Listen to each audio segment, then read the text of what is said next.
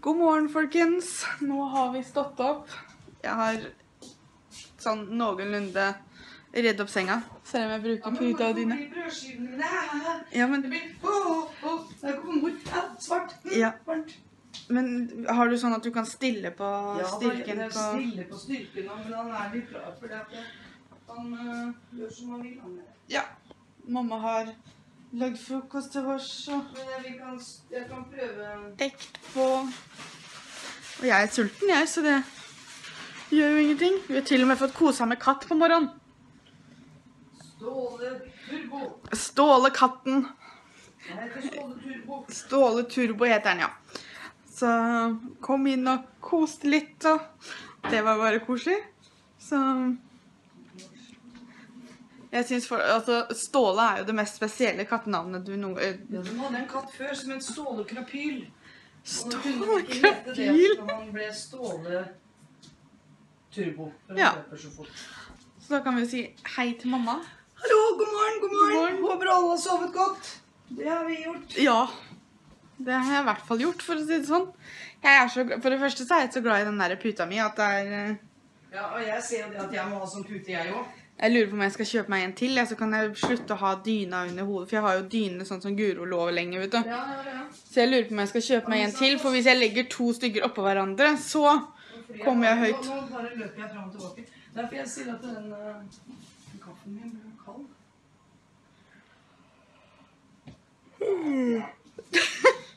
Det hadde den blitt alt.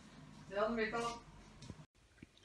Jeg og mamma koser oss med nyplukka sukkererter fra Nina. De her var utrolig gode. Mhm. Jeg elsker jo sukkererter.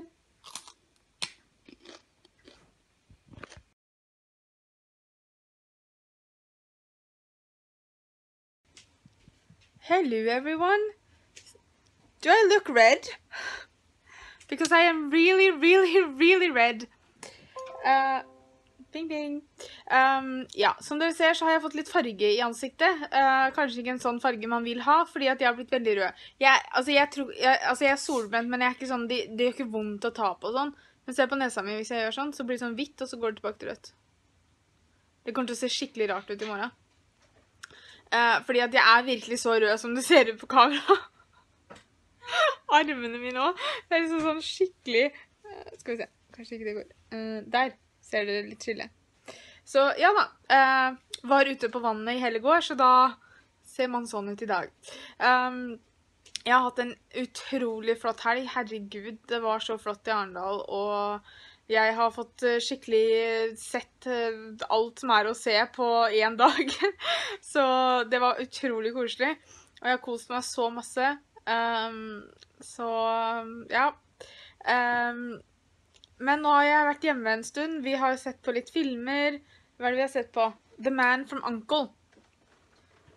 The Man of Uncle. Vent, da. The Munkle?